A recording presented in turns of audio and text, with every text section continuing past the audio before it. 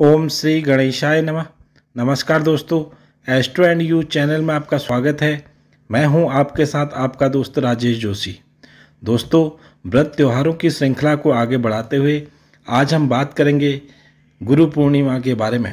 तो दोस्तों, गुरु पूर्णिमा तिथि माँ लक्ष्मी को समर्पित होती है और हर महीने में आने वाली पूर्णिमा का अपना महत्व होता है। शास्त्रों के अनुसार इस दिन लक्ष्मी नारायण की आराधना करने से समस्त प्रकार के पापों से मुक्ति मिलती है और समस्त प्रकार के सुखों की प्राप्ति होती है और समस्त प्रकार के दुख हमारे जीवन से समाप्त हो जाते हैं। साथ ही हमें मनोवांछित फल की प्राप्ति होती है। अगर लक्ष्मी नारायण की आराधना पूर्णिमा तिथि को की जाती है तो। वैसे तो प्रत्येक पूर्णिमा काफ़ी महत्वपूर्ण होती है, लेकिन आषाढ़ माह में पड़ने वाली पूर्णिमा का विशेष महत्व होता है। इस पूर्णिमा को गुरु पूर्णिमा भी कहा जाता है। तथा इस पूर्णिमा को व्यास पूर्णिमा भी कहा जाता है, क्योंकि धर्मशास्त्रों के अनुसार चारों वेदों के ज्ञाता महर्षि वेदव्यास जी का जन्म इसी दिन हुआ था। तथा शिव पुराण के अनुसार महर्षि वेदव्यास जी को भगवान श्री हरि विष्णु का अवतार माना जाता है, इसलिए पूर्णिमा तिथि पर विशेष रूप से भगवान श्रीहरि विष्णु की पूजा की जाती है और आषाढ़ मास की पूर्णिमा पर महर्षि वेदव्यास जी की पूजा की जाती है, क्योंकि सृष्टि के पहले गुरु के रूप में उन्हें ही माना जाता है।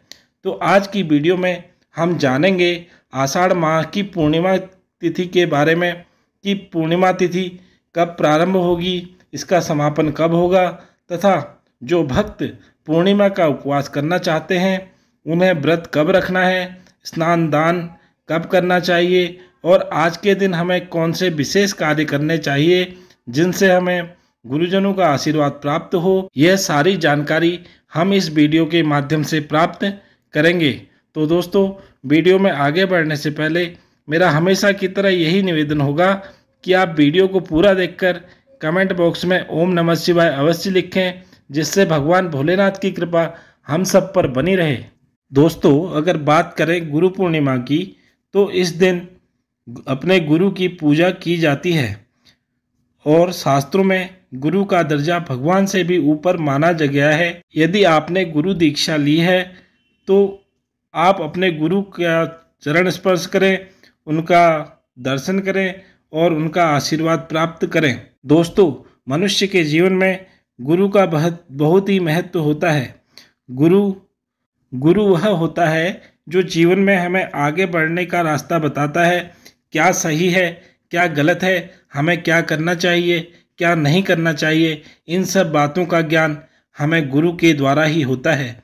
और यदि अगर इस प्रकार से हम देखते हैं तो इस संसार में यह सब सर्वप्रथम हमें दिखाने वाले हमारे माता पिता ही होते हैं। अतः हमें गुरु पूर्णिमा के दिन सर्वप्रथम अपने माता पिता का आशीर्वाद लेना चाहिए। माता पिता का आशीर्वाद लेने के पश्चात हमें अपने, जिसे भी आप अपना गुरु मानते हैं, उनका आशीर्वाद लेना चाहिए। यदि आप ऐसा करते हैं तो यह गुरु पूर्णिमा आपको जीवन में काफ़ी ऊंचाई तक ले जा सकती है, क्योंकि गुरु पूर्णिमा के दिन गुरुजनों का आशीर्वाद से जीवन में सफलता की प्राप्ति होती है। तो इस प्रकार गुरु पूर्णिमा का विशेष महत्व होता है। एक और महत्वपूर्ण बात यह है कि यदि आपने अभी तक किसी को भी अपना गुरु नहीं बनाया है या आपने किसी भी गुरु से दीक्षा नहीं ली है तो आप अपने इष्ट को ही अपना गुरु मानकर उनका आशीर्वाद लें। और यदि आपने किसी को गुरु बनाया है तो आप अपने गुरु से अवश्य ही आशीर्वाद लें। और यदि आपने गुरु नहीं बनाया है तो आपको अपने इष्ट के ही मंत्रों का जप करना चाहिए। तथा यदि आपने दीक्षा ली है तो आपको अपने गुरु द्वारा दिए गए मंत्रों का जप इस दिन करना चाहिए। इस दिन इस प्रकार के मंत्रों के जप करने से आपको जीवन में काफ़ी ऊंचाई मिलेगी और आपके जीवन में सुख समृद्धि आएगी। तो दोस्तों, आइए अब जानते हैं कि आषाढ़ मास के पूर्णिमा की तिथि कब है। दोस्तों पूर्णिमा तिथि का प्रारंभ 13 जुलाई 2022 प्रातः चार बजे से होगा तथा इसका समापन तेरह जुलाई 2022 को ही रात्रि बारह बजकर छः मिनट, अर्थात अगर आप देखें तो चौदह जुलाई हो जाती है, मगर तेरह जुलाई की ही रात्रि हम मान लेते हैं। तेरह जुलाई की रात्रि को बारह बजकर छः मिनट पर इसका समापन होगा और इसी दिन स्नान दान होगा तथा जो लोग व्रत रखना चाहते हैं, व्रत भी इसी दिन रखा जाएगा। इस दिन पूर्णिमा तिथि, एक ही दिन पढ़ने से कोई इस प्रकार का संशय भी नहीं रहेगा कि पूर्णिमा कब है।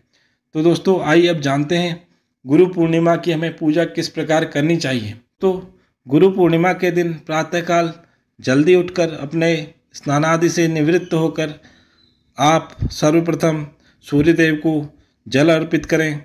तत्पश्चात अपने घर के ही मंदिर में लक्ष्मी नारायण की पूजा करें और आरती करें। तत्पश्चात आप क्षमा प्रार्थना करें। आज के दिन आप विष्णु सहस्र नाम का भी पाठ कर सकते हैं और ओम नमो भगवते वासुदेवाय नमः। इस मंत्र का जप आप कर सकते हैं। आप माँ लक्ष्मी के श्री सूक्तम पाठ का भी इस दिन जप कर सकते हैं। और इससे आपको मनोवांछित फल की प्राप्ति होगी और आपके जीवन में सभी प्रकार के कष्टों का नाश होगा, आपके जीवन में सुख समृद्धि आएगी।